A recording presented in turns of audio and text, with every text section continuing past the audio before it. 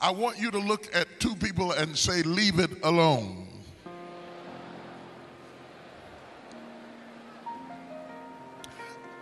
The word that I'm going to share with you tonight is prophetic in nature.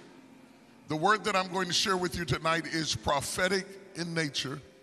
I believe in my spirit that it is a response to somebody's prayer, asking God, What do I need to do about this situation in my life right now? What do I need to do about that circumstance in my life that seems to be going out of control and crazy? What do I do about that person who doesn't understand me and doesn't like me? What do I do about that test or that trial in my life at this moment? And the Lord sent me all the way from Dallas, Texas, to tell you to kick it and cruise, relax, take it easy, don't sweat it, lay back, the battle is not yours, it belongs to God. God's already got you covered. This is going to be the easiest victory you have ever gotten in your entire life. You're not going to have to do anything, just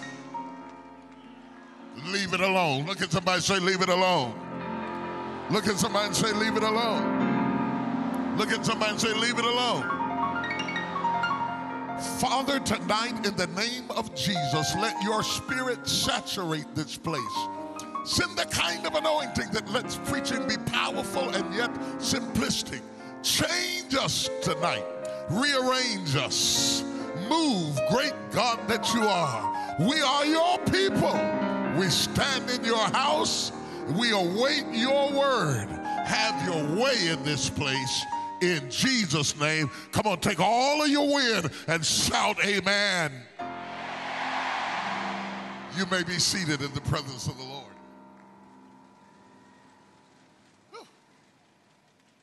That just sounds good. Standing up and sitting down sound like thunder. If I get in trouble and I'm not preaching good, just stand up and sit down. And It'll sound like, yeah. There you go. Don't y'all start?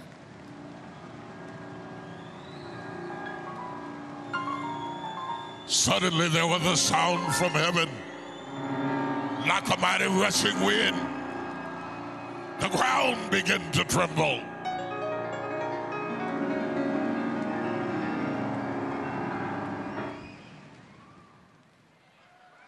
Oh, that's good. You all got to teach them how to do that in Texas.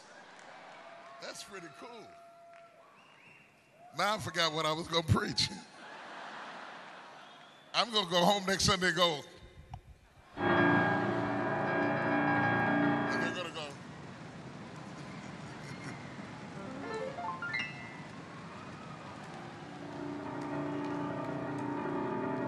Amen. Thank you very much.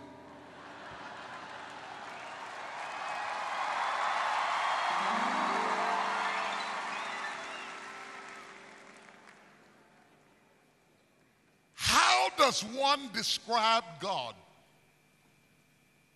when we are limited to language alone? What word would we use to define him? How can we describe the invisible, infinite, all powerful, everlasting, eternal, immutable God? We are reduced to metaphors and similes and weak comparisons.